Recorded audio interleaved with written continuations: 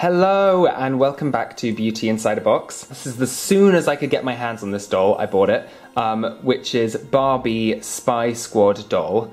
Um, I bought it at Argos. First of all, can I just say I'm so glad that Barbie has started doing slightly more interesting doll designs in terms of she's not just a princess, finally. I mean, yeah, we've had superhero, now we've got spy, which I'm super happy about. I mean, here's the box. Um, it's kind of got a bit of a uh, comic book vibe going on, I thought. Um, it's got kind of like dynamic angles, which kind of looks like the top of a building or something.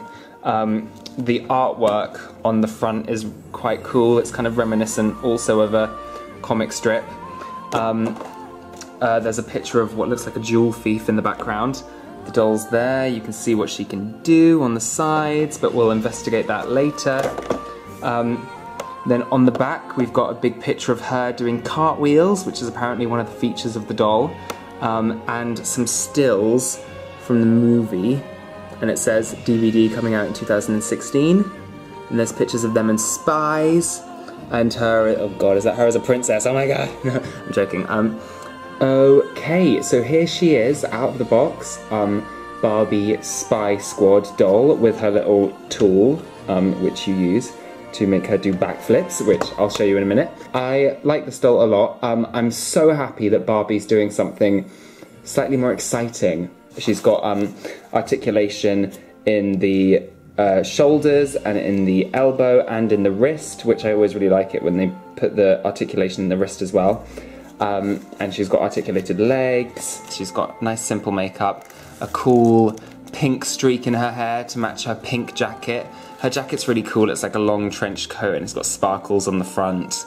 And then if I take the jacket off, this is what she looks like, which I think is rather cool. Um, she's got like a kind of skin tight jumpsuit on. It does really, really frustrate me when they don't make the clothes out of material and just paint it onto her body. I think it looks really cheap. But um, uh, in this case, I like it a little more. Um, she's got a cool kind of rubbery skirt on, um, lots of detail in the shoes. She, she really looks like an action hero, which I think is really cool. Yeah, she looks like she could actually fight crime, which I think is awesome. And then on the back, as you can see, she's got a little place where you it kind of rotates like that and you can connect the tool which she uses to do her acrobatic moves on. So it's really simple to use this doll. After you've snapped it into place, you can just move it along and as you can see, oh, it's quite cool, see? She does forward flips, um, like she's trying to um, do backflips through lasers. And then if you turn her to the side, um, she can do cartwheels, like that.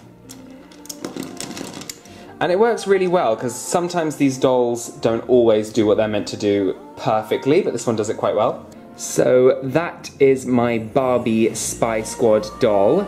Um, please let me know in the comments what you thought of my review. Um, if you have the doll, what you think of the doll. Um, and remember to like this video and subscribe to my channel. Thank you, bye!